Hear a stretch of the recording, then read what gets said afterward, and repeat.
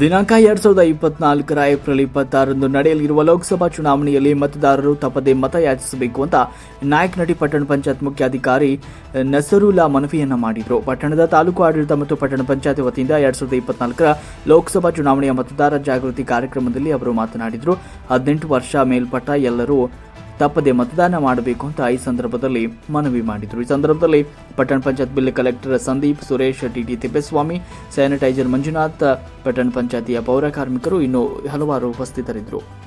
ವರದಿ ಹರೀಶ್ ನಾಯಕನಹಟ್ಟಿ ನಹಟಿ ಮಹಾಯುಧ ನ್ಯೂಸ್ ಚಿತ್ರದುರ್ಗ.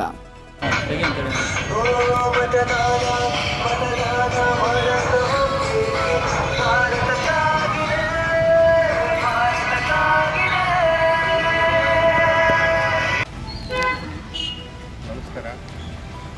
ಇವತ್ತಿನ ನಾವು ತಾಲೂಕು ಆಡಳಿತ ಮತ್ತು ಪಟ್ಟಣ ಪಂಚಾಯತಿ ವತಿಯಿಂದ ಲೋಕಸಭಾ ಚುನಾವಣೆ ಎರಡು ಸಾವಿರದ ಇಪ್ಪತ್ನಾಲ್ಕರ ಸಂಬಂಧ ಮತದಾನದ ಕುರಿತು ಪಟ್ಟಣದ ವ್ಯಾಪ್ತಿಯಲ್ಲಿ ಜಾಥಾದ ಮೂಲಕ ಒಂದು ಮತದಾನ ಜಾಗೃತಿ ಕಾರ್ಯಕ್ರಮವನ್ನು ಹಮ್ಮಿಕೊಂಡಿದ್ದೀವಿ. ಹದಿನೆಂಟು ಹದಿನೆಂಟು ವರ್ಷದ ಮೇಲ್ಪಟ್ಟ ಯುವ ಮತದಾರರು ಮತ್ತು ಇಪ್ಪತ್ತೈದು ವರ್ಷಕ್ಕಿಂತ